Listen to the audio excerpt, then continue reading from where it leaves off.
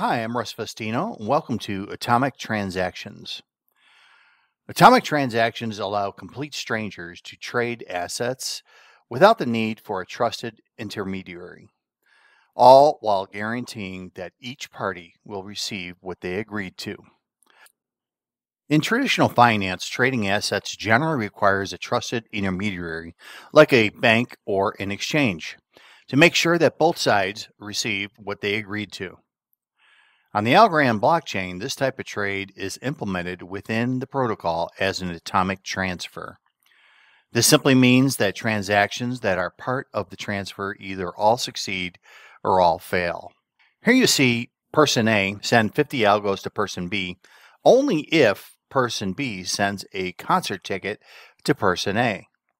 Either it all happens or it all doesn't. On Algorand, atomic transfers are implemented as irreducible batch operations where the group of transactions are submitted as a unit and all transactions in the batch either pass or fail. This also eliminates the need for more complex solutions like hashed time lock contracts that are implemented on other blockchains. An atomic transfer on Algorand is confirmed in less than five seconds, just like any other transaction. Transactions can contain algos or Algorand standard assets and may also be governed by smart contracts. In other words, Algorand atomic transfers offer a secure way to simultaneously transfer a number of assets among a number of parties that are complete strangers to trade assets without the need for a trusted intermediary, all while guaranteeing that each party will receive what they agreed to. In short, atomic transactions facilitate a guaranteed exchange of goods. They are combinable with other Algorand technologies such as smart contracts and assets. Atomic transfers are on chain as a layer 1 native function. They are easy to use and secure, as well as they support up to 16 transactions. Atomic transactions can be considered the secret sauce or the glue when architecting a decentralized application or a dApp. It ensures that all transactions in the group must succeed or all will fail. Here are some other examples of atomic transfers. Circular trades. That's where, say, Alice pays Bob if and only if Bob pays Claire, and if and only if Claire pays Alice. So it goes around in a circle. Also, we got group payments, everyone pays or no one pays. Distributed payments, payments to multiple recipients. Uh, decentralized exchanges, trade one asset for another without going through a centralized exchange. Pool transaction fees is another one. One transaction pays the fees of another.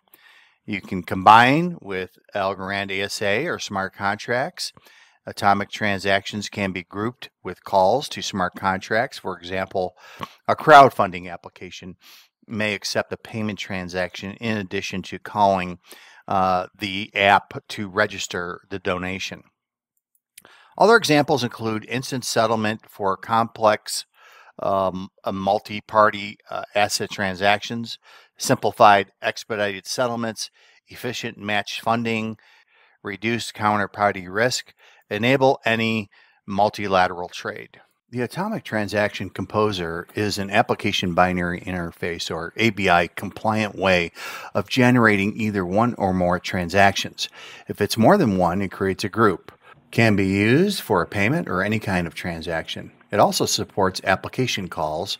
It enforces the ABI, and that's an important part of it. When you instantiate the Atomic Composer, it has a state machine. It essentially tells you when it's building, when it's built, signed, submitted, or committed to the chain. It has two method calls, add transaction and add method call, as well as a build group call that builds the group, moves the state from building to built. And then we gather signatures, which signs the transaction and moves it to signed and you can either submit it and return it at this point, or you can use the execute method, which broadcasts to the chain by waiting for it to complete and changes the status to committed. Then that returns the confirmed round in an array of transaction IDs if it's a group, and returns the ABI result, which is an array of ABI types that you can loop through the results and look at what your smart contract returned. This has so much functionality associated to it as it handles all of the encoding and decoding rules when the smart contract is returned back. We use this a lot and it's fantastic. If the atomic composer is doing a simple transaction, it is no more than doing an add transaction method call. And what you pass is what we call a transaction with the signer object. You give it a transaction and a signer. So here we have the transaction signer with maker functions for a basic account signer, multi-sig account signer, and make logic sig account signer, which should map to how you want to sign the transactions. But what is unique about the composer is all three of these implement this interface. And all it takes is an array of transactions and an index to sign once the promise is fulfilled. It returns an array of uint and all of the signed transactions. If you implement this interface yourself, you can plug into the signer field and you are good to go. Here we see a make payment transaction with the transaction and account signing it. The Wallet Connect implements the interface as well. What is really neat about this is if you ever needed signatures in multiple places, it's going to be quite difficult. And with the Wallet Connect interface, that will make it much easier. Okay, let's take a look at a demo here on Atomic uh, Transactions. We're going to use the Atomic Composer through the JavaScript SDK. All right, uh, so what this uh, code is going to do here is we're going to have two accounts. We're going to recover account A and account B. So let's go ahead and get to that point here with the debugger. So here we've generated and recovered an account using uh, the mnemonic uh, phrase up above in a routine called recover account one. And then this is where you get the address uh, that gets displayed here. Uh, we'll do the same thing for a second account. And let's get the account info on both of those. So we got a balance here of um, 31 algos roughly and uh, 6 algos on the uh, account B. And what we're going to do now is create a signer object. So you want to construct the signer object that will be used in, to sign transactions later mm, during the atomic uh, transaction composer group construction process. All right, so now we're going to go ahead and create our uh, composer, which allows us to easily add transactions and ABI method calls to construct an atomic group. And there you can see the first transaction we're going to add, this TX1. This is going to be making a payment, and we're going to go from uh, account 1 over to the uh, faucet address, and then we're going to give them 0.1 uh, algos. So that's the first transaction. Now the second transaction that we're going to do is we're going to go from account A to account B, and we're going to send 0.2 algos there. So we're going to add that next transaction in as well to the transaction uh, composer group, along with the signer who's signing that transaction. Now this statement here, we're going to go ahead and execute, and that does the equivalent of a broadcast to the network and then also a wait for confirmation. So when this comes back, you can see the round that this is confirmed in down below. Right there. And then we're going to go ahead and uh, print off the group ID as well that we get back that is used uh, to uh, keep track of both of those transactions in the group. And you can see that listed right here.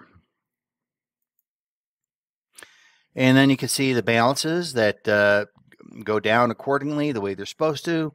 Start out at uh, 314, end up at 311 here, and then also we have uh, 658 uh, going up to 705. So we're increasing, getting the algos there. Okay, and then I went over to uh, Algo Explorer. I pasted in that group ID to do a search on, and lo and behold, there are the two transactions we just completed. Uh, transaction one, uh, we had 0.2, and in the other transaction, we had 0.1 algos um, going between the sender and the receiver. So, in summary, we took a look at the Atomic Composer Uh, it's great for doing a bunch of transactions and having them all succeed or all fail. The deck and the atomic transaction resources are on the QR code. And you can see here are the links to the deck, the code, uh, the docs on atomic transfers, as well as the atomic transaction composer, and join the uh, Discord uh, server if you haven't done so. Thank you very much. Hope you enjoyed this session.